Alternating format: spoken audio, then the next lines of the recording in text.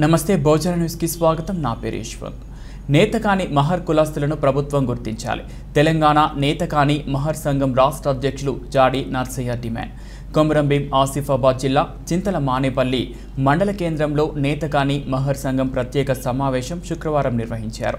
ముందుగా భారీ ఎత్తున ర్యాలీగా వెళ్ళి ఛత్రపతి శివాజీ అంబేద్కర్ విగ్రహాలకు పూలమాలలు ఘనంగా నివాళులర్పించారు. అనంతరం సమావేశంలో నేతకాని మహర్ సంఘం రాష్ట్ర అధ్యక్షులు జాడ నర్సయ్య మాట్లాడుతూ ఎస్సీ సామాజిక వర్గాలలో నేతకాని మహర్ కులస్తులు కూడా అధిక సంఖ్యలో ఉన్నారని ప్రభుత్వాలు అందించే సంక్షేమ పథకాల్లో వాటా కల్పించాలని అన్నారు.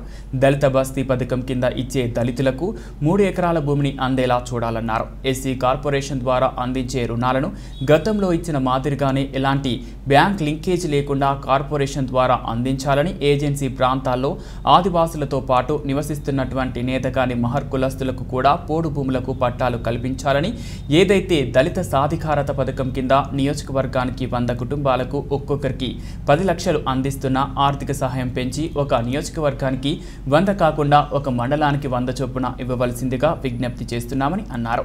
ఈ కార్యక్రమంలో నేతకాని మహర్ సంఘం అండల అధ్యక్షులు రత్నం పాపయ్య ప్రధాన కార్యదర్శి Mudimadugula Kiran Kummari Harish MPP Basarkar Vishwanath Sirpur MPP Sunarkar Suvarna Umaji Kautala ZPTC Madhukar Chintala Manerpalli MPTC Sushila Tirupati తదితరులు పాల్గొన్నారు.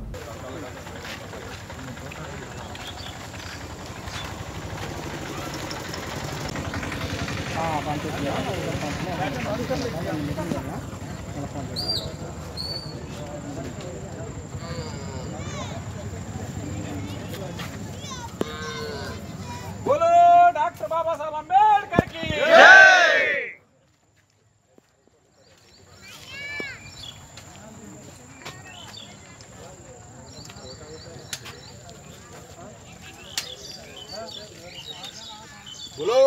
डॉक्टर बी आर अंबेडकर की।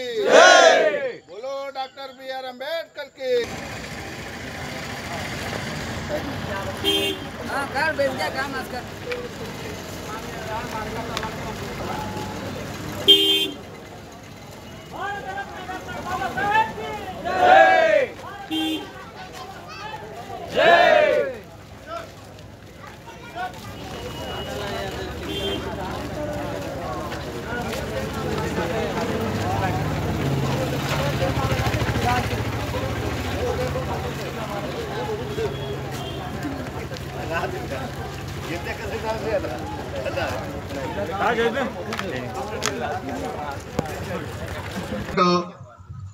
అన్ని రకాల ఎస్సీ ఎస్టీ ఎస్సీలకు మనకు పోడు భూముల మీద ఏది ఎస్టీలకు అయితే ఏ రకంగా పోయినసారి కాంగ్రెస్ గవర్నమెంట్ ఉన్నప్పుడు వాళ్ళకు హక్కు పత్రాలు ఎట్లా అయితే జారీ చేసిండో పోడు భూముల మీద మేము మా ఏరియాలో కంపెనీ లేదు ఉద్యోగాలు లేవు. అయితే భూమి మీద వ్యవసాయం మీదనే మేము ఆధారపడి ఉంటాయి మన కుటుంబాలు. కాబట్టి ముఖ్యమైన సందేశం అది ఏదైతే కొన్ని విలేజ్లలో పోడు భూములు ఏదైతే చేసుకొని వాళ్ళ బిడ్డలకు వాళ్ళ చదువులకు వాళ్ళకు అన్నిటి మీద తోడ్పడటానికి ముఖ్య ఉద్దేశమైనది పోడు భూమి ఉన్నది కాబట్టి ఆ పోడు భూమి మీద ఏమాత్రం అవకాశం ఇస్తలేరు. అప్పుడు కాంగ్రెస్ గవర్నమెంట్ ఉన్నప్పుడే ఎంతో కొంత కొంతమందికి ఎస్టీలకు హక్కు పత్రాలు జారీ చేయడం జరిగింది. అలాంటిది ఒకటి ఇస్తే మన బిడ్డలకు చదువుకోవడానికి పెళ్ళిళ్ళకు అన్ని రకాల కూడా మన బిడ్డలకు ఉపయోగపడుతుంది. అలాంటి మన దానికి అవకాశం ఇచ్చి మనకు కూడా హక్కు పత్రాలు ఇచ్చి మరి పట్టాలు మంది ఉన్నారు. ఆ పోడు భూముల సమస్యను కూడా ప్రభుత్వం తీసుకుపోయే బాధ్యత మనందరిపైన ఉన్నది. ఆ పోడు భూములకు కూడా రెండు వేల ఆరు అటకీ అటవాకుల చట్టం ప్రకారంగా ఇప్పుడు అది అది కొంచెం ఆపించారు దాన్ని తిరిగి ఆదివాసులతో పాటు మరి దళితులకు అందరికీ కూడా మాదిగా ఉండని మాల ఉండని నేతకాని ఉండని ఏదైనా ఉండని దళితులు కూడా గిరిజనులతో సమానమైనటువంటి పరిస్థితి ఉంది కాబట్టి వాళ్ళందరికీ కూడా పట్టాలు ఇవ్వాల్సినటువంటి బాధ్యత ప్రభుత్వంది. ఇది కూడా మనం ముందుకు తీసుకుపోదాం. మూడవది వచ్చేసి ఇప్పుడు ఎస్సీ కార్పొరేషన్ ద్వారా ఇంతకు ముందు ఎన్ఎస్ఎఫ్డిసి జాతీయ షెడ్యూల్ కులాల ఆర్థిక సహకార సంస్థ ఎన్ఎస్ఎఫ్డిసి ద్వారా మరి ఇంతకుముందు కేవలం ఐదు శాతమే బెనిఫిషియర్ నుంచి కట్టుడు. మిగతా తొంభై ఐదు శాతం ప్రభుత్వమే రు- మొత్తం రుణం కల్పిస్తుండే. మరి అది బ్యాంకు లింకు లేకుండా డైరెక్ట్ ఎస్సీ కార్పొరేషన్ ద్వారానే ఎస్సీ ఎస్టీ వాళ్ళకు మరి ఆ సహకారం ఉండే. ఆర్థిక ప్రగతిని సాధించే విధంగా మరి ఆ పథకం ఉండే. తిరిగి ఆ ఎన్ఎస్సి ఎన్ఎస్ఎఫ్డిసి పథకాన్ని పక్కన పెట్టారు కాబట్టి తిరిగి అదే పథకాన్ని ఇప్పుడు ప్రవేశపెట్టండి. రాష్ట్ర కేంద్ర ప్రభుత్వాలు ఒకటై. మీరు ఖచ్చితంగా పేదల పక్షాన దళిత గిరిజనుల పక్షాన ఉండి మీరు ఖచ్చితంగా వీళ్ళు కింది స్థాయిలో అధికారులు అందరు ఉన్నారు. ఒక ఆఫీసర్ మనకు నెలలో సంవత్సరంలో ఒక్కసారి కూడా కనిపించారు. రీసెర్చ్ చేయమని లక్షల జీతాలు తీసుకుంటారు కానీ అధికారులు మాత్రం మా పరిస్థితులు స్థితిగతులు ఆచార వ్యవహార సంప్రదాయాలు ప్రశ్నించి మరి వాళ్ళు తీసుకుపోయి ప్రజాప్రతినిధుల దృష్టి తీసుకుపోతలేరు. మరి అధి అధికారిక నాయకులు మాత్రం వీళ్ళ సలహా తీసుకొని పథకాలు రచిస్తారు పథకాలను ప్రవేశపెడతారు. మరి స్టాటిస్టికల్ రిపోర్ట్ తీసుకోకుండా మరి అధికారులు లక్షల జీతాలు తీసుకొని మాకు మాత్రం నోట్లే అన్నం కాదు సున్నం పెడతారు. కాబట్టి ఈ పరిస్థితిలో అధికారులను ఖచ్చితంగా ప్రశ్నించే గొంతుక మనందరిపై ఉండాలి. ఖచ్చితంగా ఈ పోడు భూముల సమస్య పరిష్కారం కావాలి. మరి స్థితిగతులు మాత్రము నేత కానీ మహార్కులాసులై ఈ విధంగా ఉన్నాయని చెప్పేసి మరి బయట తీసుకుపోయి మనము ప్రశ్నించే గొంతుకు కావాల్సిందని నేను విజ్ఞప్తి చేస్తా ఉన్నా. మరి అంతేకాకుండా ఈ ఎన్ఎస్ఎఫ్డిసి పథకాన్ని ఇదకు ముందు తీసుకొచ్చిండ్రు. అది కొంతమంది మేలు జరిగింది. తిరిగి మళ్ళీ ఇప్పుడు ప్రవేశపెట్టాలి. కేంద్ర ప్రభుత్వం అది బాధ్యత. అది రాష్ట్ర ప్రభుత్వంలో ఉన్నటువంటి అధికారులందరూ దాన్ని తిరిగి ప్రవేశపెట్టాలి. అంతేకాకుండా ఇప్పుడు ఇచ్చినటువంటి ఎస్సీ కార్పొరేషన్ రుణాలన్నీ కూడా తిరిగి ఏ బ్యాంకు లింకు పెట్టద్దు బ్యాంకుకు పోతే ఏంది? ఏజెన్సీ ప్రాంతంలో నాకు ఇంత గుడిసెనో ఇల్లు ఐదు ఎకరాల మూడు ఎకరాల భూమి ఉంది. ఆ భూమిని వాళ్ళు తాకట్టు పెట్టుకోలేరు బ్యాంకు వాళ్ళు. బ్యాంకు వాళ్ళు తాకట్టు పెట్టుకోకుండా నీకు లోన్ ఎట్లా ఇస్తారు లింకు బ్యాంకుది. కాబట్టి అటువంటి పథకాలు పెట్టకుండా ఎస్సీ కార్పొరేషన్ ఎందుకు మరిగా? బ్యాంకు ద్వారానే తీసుకొని బయటపడచ్చు మనం పైసలు ఉన్నోనికే అది పథకం వస్తుంది. పేదోనికి ఇది అందరికి ఎట్లుంటుంది? కాబట్టి బ్యాంకు లింక్ లేకుండా గతంలో ఇచ్చినటువంటి పథకాలను తిరిగి ఇప్పుడు ప్రవేశపెట్టే ప్రయత్నం రాష్ట్ర కేంద్ర ప్రభుత్వాలు చేయాలి.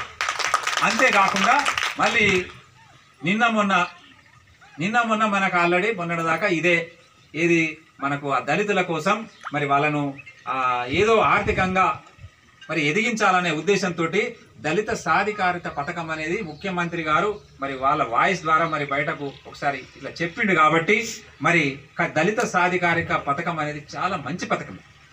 సంతోషిస్తాం హర్షిస్తాం. కానీ అది హైదరాబాద్ వినండి ఇది హైదరాబాద్ లెవెలే కాదు రాష్ట్ర వ్యాప్తంగా దాదాపు వందలాల మ- వేలాది మండలాలు ఉన్నాయి. మరి నియోజకవర్గాలు ఉన్నాయి నూట పంతొమ్మిది. మండల నియోజకవర్గానికి ఒక వంద మందికి అంటే ఒక్క ఊరు కూడా ఒకటి రాదు. కాబట్టి కనీసము మీ దగ్గర బడ్జెట్ చూసుకొని ఈ బడ్జెట్ను బట్టి వేరే దానికి ఎన్నో ఖర్చు లక్షల కోట్లు ఖర్చు పెడతారు. మరి దళితులు వెనుకబడ్డది ఎస్సీ ఎస్టీలే. కాబట్టి మీరు ఈ యొక్క దళిత సాధికార పథకం అనేది ఖచ్చితంగా మండలానికి ఒక వంద మందికి నువ్వు పది లక్షలు ఇస్తావా ఎంత ఇస్తావో ఇచ్చుకో. కానీ మా ఉద్దేశం అయితే మినిమం మండలానికి ఒక వంద మందికి ఇచ్చే ప్రయత్నం చేయండి. నియోజకవర్గానికి వంద మంది అని అంటే వేల ఊర్లు ఉన్నాయి. ఊరికొకటి రాకపోతే మాత్రం ఊరోళ్ళందరూ మాత్రం ఖచ్చితంగా ఇక అది వేరే తీరుంటుంది గడబడు.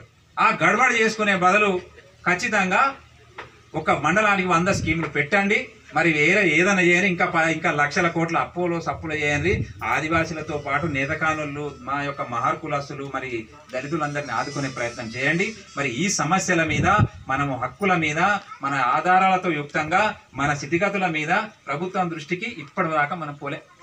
వాస్తవంగా చెప్తున్నా ఏడు సంవత్సరాలు అయింది. తెలంగాణ ప్రభుత్వం వచ్చిన తర్వాత మన వాళ్ళు చాలా మంది ఉద్యమకారులు ఉన్నారు ఎందరో వాయిస్ ఇచ్చిండ్రు ఎందరో ఉద్యమం చేసిండ్రు ప్రాణ త్యాగం చేసిండ్రు. మన చరిత్ర మాత్రం ముఖ్యమంత్రి దాకా పోలే. పార్లమెంట్ దాకా పోలే ప్రధానమంత్రి దాకా పోలే. మరి మనకు ఇవాళ అదృష్టం ఒకటి ఈ యొక్క సంఘాన్ని బెజ్జూరు నుంచి భద్రాచలం దాకా మొత్తం రాష్ట్ర వ్యాప్తంగా ఏదో ఈ సంఘం అంటే కొందరు నవ్వుకుంటారు. సమ పది మంది సమస్య ఒకటైనా కాదు ఒక సంఘమే. కాబట్టి సంఘపరంగా ముందుకు తీసుకుపోయి మా సామాజిక స్పృహను ఆర్థికంగా విద్యాపరంగా ఉద్యోగపరంగా అన్నిట్లో వెనుకబడి ఉన్నాం కాబట్టి మా కూడా ఒక ప్రజాప్రతినిధి కావాలి. మా కూడా ఒక ఎమ్మెల్యే కావాలి. మా కూడా ఒక ఎంపీ కావాలి. రాష్ట్ర సమస్యలు పా- మన అసెంబ్లీలో మరి జాతీయ సా- సమస్యలు జాతీయ స్థాయిలో ఉన్నాయి. పార్లమెంట్లో ప్రస్తావించే మాకు ఒక ప్రజాప్రతినిధి కావాలని అందరం ఒకటై మరి చా అన్ని పార్టీల దగ్గరికి పోయి గతంలో మేము ఎంతో రిక్వెస్ట్ చేసుకున్నాం. చేసుకున్నందుకు అదృష్టవశాత్తు ఆ దుర్గం ఖాందాన్ అని అంటేనే భారతదేశంలోనే దక్షిణ భారతదేశంలో పెద్ద ఖాందాన్. అదృష్టానికి మనకు దుర్గం చిన్నయ్య గారికి టికెట్ రావడం ఆయనకు మనం అందరం అభినందనలు తెలపాలి. మన కులాన్ని బయటకు తీసుకొచ్చినటువంటి దుర్గం చిన్నయ్యకు ప్రత్యేక ధన్యవాదాలు తెలుపుతాం. ఎందుకనంటే ఇవాళ దుర్గం వాళ్ళు అంటేనే నేతకానోళ్ళు మరి అందులో మళ్ళీ రెండవ అవకాశం మనకు పార్లమెంట్లో అడుగుపెట్టిండు మంచిగా ఇంగ్లీష్ మంచిగా పర్ తెలుగు హిందీ పర్ఫెక్ట్ మాట్లాడేటటువంటి బోర్కుటే అని మరాఠీలు అంటారు. బోర్లకుంట అనేది తెలుగులో అంటారు. జన్నారం మండల వాసి మరి పెద్దపల్లి పార్లమెంటుకు మంచిగా మరి మంచి టాలెంట్ ఉన్నటువంటి వ్యక్తిని సమాజపరంగా మీ నేతకానికే ఇస్తాం టికెట్ మీరు గెలిపించుకురావాలి అని చెప్పేసి నాయకుడు ఒత్తిడి జరిగింది. కాదు ఏ పార్టీ అయితే మాకేంది? మాకు కావాలి ప్రజాప్రతినిధి. కాబట్టి ఆయనకు పార్లమెంటుకు వెళ్ళిండు కాబట్టి ఆయన వెంకటేష్ నేత అని చెప్పేసి పకడ్బందీ పేరుంది. నేత అంటేనే నేత కానీ. నేత అంటే వాయిస్ మనకు మనం ప్రశ్నించే గొంతుక. కాబట్టి వెంకటేష్ నేత అన్న గారు కూడా మనకు ఒక పెద్దన్న పాత్ర వహి వహిస్తూ రాష్ట్ర అసెంబ్లీలో ఒకరు పార్లమెంట్లో ఒకరు ఉన్నారు కాబట్టి వాళ్ళకు కూడా మనం రుణపడి ఉందాం. వాళ్ళకు కూడా మనం విజ్ఞప్తి చేస్తుందాం. మనం కూడా మన సమస్యలను సంఘపరంగా ఐకమత్యమై వేలాది మందితోటి లక్షలాది మందితోటి పెద్ద సభలు ఏర్పాటు చేస్తే తప్పకుండా వాళ్ళని ఆహ్వానించుకొని మన సమస్యలు నేతకన్న సర్టిఫికేట్ ఉన్నప్పుడే మన గుర్తింపు చెందుతుంది. ఎందుకంటే ఏ బడ్జెట్ అయినా ఏ బడ్జెట్ అయినా మరి మన జనాభా నిష్పత్తి ప్రకారమే నిర్మాణం అవుతుంది దాని ప్రకారమే ఖర్చు పెడతారు. మరి మన గుర్తింపు లేకపోతేనే నీ అభివృద్ధి ఇన్ని రోజులు ఇదివరకు మన చెప్పిండ్రు. ఎందరూ చెప్పిండు డాక్టర్ సాబ్ శంకర్ చెప్పిండు హరి హరి చెప్పిండు మన సాగర్ చెప్పిండు అందరు కూడా చెప్పిండు ఎందుకంటే ముందు మన జాతిని రూపకల్పన మనం చేయాలి. మన సమాజం ఇంత మనం ఉన్నామని దాన్ని నిరూపించే విధంగా మనం ఈ ఇటువంటి ఏదైతే గ్రామ కమిటీల్లో లేకుంటే మండల కమిటీల నుంచి మరి రాష్ట్ర స్థాయి దాకా మన జనాభా ఇంత ఏదైతే మాల కాదు కాదో మనం కూడా నేతని మహర్లము ఇంత దాదాపు మన రాష్ట్రంలో పదిహేడు జిల్లాలు ఇదివరకు కూడా మా ఏదైతే మరి పెద్దలు జాడినేసాయి గారు దాన్ని ఏదైతే పదిహేడు జిల్లాల్లో మరి మన కమిటీలు ఆల్రెడీ ఇప్పటికి నిర్మాణం చేసినాం దాదాపు ఇది ఇదివరకు మనం పరిశీలన చేస్తే పదిహేడు పద్దెనిమిది లక్షల మన జనాభా ఇదివరకు కూడా మనకు గుర్తింపు ఉంది. ఇంకా చాటు మాటున ఇంకా ఏదైనా ఉంటే పరిశీలనలో మనం తీసుకొని వచ్చి మరి భవిష్యత్ కాలంలో ఎందుకంటే మరి ఈ సమావేశం ఇదే కాకుండా మరి రేపు ఏదైతే మన రాజ్యాంగ నిర్మాణంలో రాజ్యాంగంలో చట్టంలో ఏదైతే బాబాసాహెబ్ పొందుపరిచినటువంటి మన హక్కులని ఏదైతే మనం రేపు అభివృద్ధి చెందటానికి మరి ఎందుకంటే మరి ఇప్పుడు మరి తెలంగాణ ప్రభుత్వం కూడా మరి పది లక్షల వరకు బ్యాంకు లింకేజ్ రుణాలు కోసం మరి మాట్లాడుతున్నారు కాబట్టి అదే కాకుండా మన సమాజంలో మన ఏదైతే కమిటీ ద్వారా మనం కొన్ని తీర్మానాలు చేయాల్సిన అవసరం ఉంది. ఎందుకంటే పెద్దలు చెప్పింది ఇది వరకు. ఎందుకంటే పోడు భూములు ఏదైతే మనకు గత ఏదైతే అప్పుడు ఉండే కొందరు ట్రైబల్కి మాత్రం ఇచ్చిండ్రు. మన పోడు భూముల హక్కు కల్పించడానికి కూడా ముఖ్యంగా దానికి పూర్తి ఏదైతే మరి మనం చట్టం ఒకటి తీసుకొని వచ్చి కనీసం హక్కు కల్పిస్తే వాళ్ళకు రుణాల్లో లేకుంటే ఏదైనా జీవన శైలిలో భాగంగా ఎందుకంటే దాదాపు మనం గ్రామీణ ప్రాంతంలో చూస్తే ఎనభై తొంభై శాతం మనం ఏదైతే రైతులం కాబట్టి మరి దాని ద్వారా కూడా కొన్ని మన ఏదైతే మన కుటుంబాలు భవిష్యత్తులో మరి అభివృద్ధి చెందుతాయి కాబట్టి దాని ప్రకారం కూడా ఓటు భూములకు మంజూరు చేయాలని ఒక తీర్మానం. రెండోది ఏంటంటే మన తాత ముత్తాతలు కూడా మరి నోట్పేడి గ్రామంలో గిరిజన గ్రామంలో ఆదివాసీ గ్రామంలో మరి వంద సంవత్సరాల నుంచి భూమిని సాగు చేసుకుంటా వచ్చినప్పుడు కూడా వాళ్ళకు కూడా ఏదైతే హక్కు లేదు కనీసం ఏదైనా హక్కు పత్రం ఎందుకంటే లోన్ లేకుంటే ఇంకేదైనా ఆర్థిక విధంగా మరి వాళ్ళు కూడా ఆ కుటుంబాలు కూడా మరి అభివృద్ధి చెందే విధంగా ఒక వాళ్ళకు కూడా సాయం చేయాలని ప్రభుత్వాన్ని కూడా తీర్మానం చేయాలని మేము మనవి చేస్తున్నాం. అదే అదేవిధంగా కాకుండా మరి చదువుకున్న పిల్లలు భవిష్యత్తులో అప్పుడు చదువు లేకపోవచ్చు. కానీ ప్రతి ఇంటిలో ఒక్కళ్ళు ఇద్దరు పూర్తిగా చదువు స్థాయిలో ఉన్నారు. వారిలో అవకాశం బట్టి ఉద్యోగాలతో పాటు ఒకవేళ అవకాశం లేని వాళ్ళకు కూడా ఆర్థిక విధానంలో తప్పకుండా ఉపాధి కల్పించే విధంగా బ్యాంకు లింకేజ్ లేకుండా కనీసం పది లక్షల రుణాలు మరి మంజూరు అయ్యే విధంగా ప్రతి ఒక్కరికి కూడా మరి దానికి మరి పూర్తి స్థాయిలో మరి గతం లేదైతే అభివృద్ధి ఉంది ఈరోజు మరి చింతామానేపల్లిలో నేతకాని మహార్ సంఘం యొక్క మరి సం- ఈ కార్యక్రమానికి ముఖ్య అతిథులుగా వచ్చినటువంటి పెద్దలు గౌరవనీయులు జాడి నరసయ్య గారు మరి వేదికపై ఉన్నటువంటి మరి పెద్దలు సర్పంచ్లు ఎంపీటీసీలు మరి అదేవిధంగా మరి ఈ సమావేశానికి నిన్ననే అసలు ఫోన్ల ద్వారా చెప్తే చెప్పిన తర్వాత మరి వచ్చినటువంటి మన కుల బాంధవులు అక్కలు అవ్వాలు మీ అందరికీ నా యొక్క జైభీం ఎందుకంటే మరి బాబాసాహెబ్ అంబేద్కర్ గారు సమ సమాజ నిర్మాణం కోసం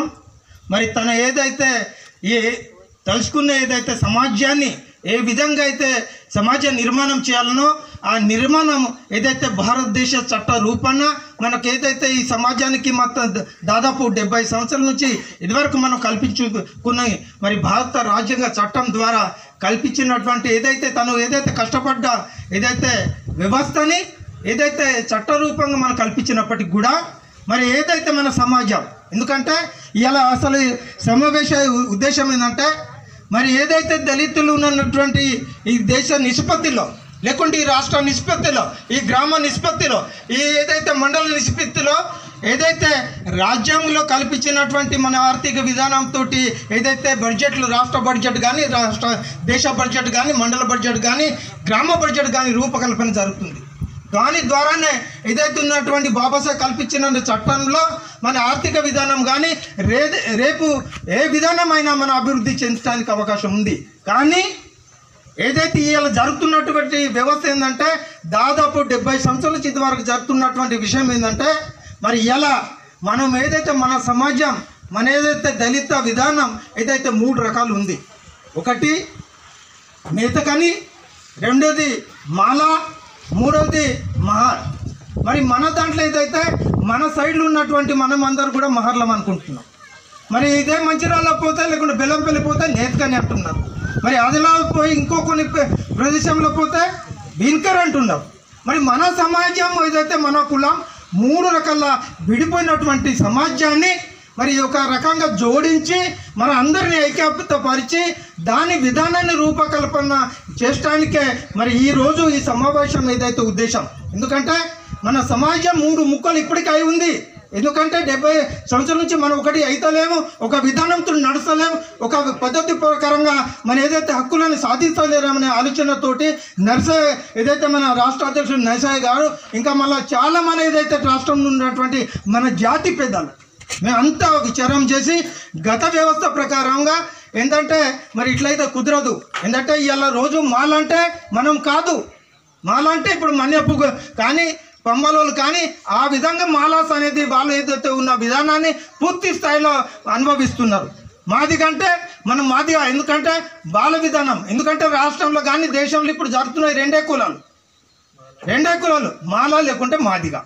మరి మన పెద్దలు మన తాతలు మన ముత్తాతలు మరి ఫస్ట్లో పుట్టింది నేతికని దానికి ఒక విధానం ఉంది దానికి ఒక రూపకల్పన ఉంది. ఆ కులం ఏదైతే మాట్లాడే విధానం ఉంది మరి బాబాసాహెబ్ కూడా మన ఏదైతే మహర్ కులంలో పుట్టినటువంటి వ్యక్తి. కానీ అన్ని కులాలు అభివృద్ధి చెందినప్పుడు కూడా వేరేదైతే మాలలో చూస్తే ఇలా జడ్జిలు ఉన్నారు. ఇప్పుడు మన మధుకర్ చెప్పినట్టు డాక్టర్లు ఉన్నారు కలెక్టర్లు ఉన్నారు. మరి అన్ని రకాల కులం అభివృద్ధి అదేవిధంగా చూస్తే మరి మాదిగలు కూడా అదే తరు తరుణంలో ఉన్నారు. కానీ మన నేతకాన్ని కానీ మహర్ కులంలో ఎవరున్నారు? మరి ఒక డాక్టర్ లేరు మరి ఒక విధానంలో ఒక మంత్రి లేడు మరి రాజ్యాంగ పరంగా చూసినా ఆర్థిక పరంగా చూసినా ఏ విధానంలో చూసినా మన గుర్తింపు లేనటువంటి కులాన్ని మన మహర్ కులం అటువంటిది. మరి ఇది మనం గమనించి మరి దీని ప్రకారం మనం ఏం చేద్దాం? మరి మీ సలహా ఏంది? మన ఆలోచన ఏంది? మన విధానాన్ని మన రూపకల్పన చేసి ముందుకు తీసుకుపోదాం మన ఆలోచనతోటి మరి గత ఏదైతే మూడు సంవత్సరాల నుంచి మరి జాడి గారు మరి ఇక ఇతర మన రాష్ట్రంలో ఉన్నటువంటి మన కుల పెద్దలు కూడా దీన్ని రూపకల్పన చేసి దీనికి ఒక రూపకల్పన బాబాసాహెబ్ కల్పించినటువంటి ఏదైతే పంచశీలం ఉన్నటువంటి ఈ కళ పంచశీల్లో ఏదైతే బాబాసాహెబ్ ఏదైతే దేశంలో ఏదైతే మరి నమ్ముకొని మరి బుద్ధ భగవాన్ నమ్ముకుని ముందుకు పోయినరో ఆ రూపకల్పన విధానంగా ఇవాళ జెండా దీనికి ఒక కనువ దీనికి ఒక జెండా దీనికి ఒక విధానాన్ని కల్పిస్తూ ఇది ఏదైతే రక్తం అనేది మన తాతలు ముత్తాతలు అప్పుడు ఏదైతే నేతని చేసుకొని బతికినటువంటి సమాజం మనది. మరి దాన్ని మరి ఒక దీనికో దీనికి ఒక కండువకు ఇది రత్నం ఇది మనకు మహాపురుషుడు మన దేవుడు మన ఏదైతే భారతదేశంలో నడుస్తున్నటువంటి చట్ట విధానంలో కానీ భారతదేశం కానీ ఈరోజు ఏదైతే మరి బాబాసాహెబ్ అంబేద్కర్ దాని ఈ దీనికి మూడు కలర్లు ఒక రాట్నం ఒక బాబాసాహెబ్ని రూపకల్పన చేసి దీని ద్వారా ఈ రెండు మూడు సంవత్సరాల నుంచి మరి ఏదైతే సమాజాన్ని మన ఏదైతే మరి వెనుకబడిన సమాజాన్ని ముందుకు పోదామనే తరుణంలో మరి ఇంకో రూపకల్పన చేసి మరి దీనికి ఒక విధానం ఉండాలి. మరి మాలా ఏదైతే గుర్తింపు ఉంది మాదిగా గుర్తింపు ఉంది కానీ మరి నేతగాని కానీ మహర్ కానీ గుర్తింపు లేదు. ఎందుకంటే జనాభా ప్రకారం చూస్తే బడ్జెట్ ప్రకారం చూస్తే ఏ కులం అయితే ఉన్నదో మనం కూడా ఇప్పుడు మన ఏదైతే కుమ్రంభీం జిల్లా ఉందో మనం కూడా మాల సర్టిఫికేటే ఉంది. కానీ ఇప్పుడు దాకైతే అది గడిచినప్పుడు కూడా రేపు రాబోయే తరుణంలో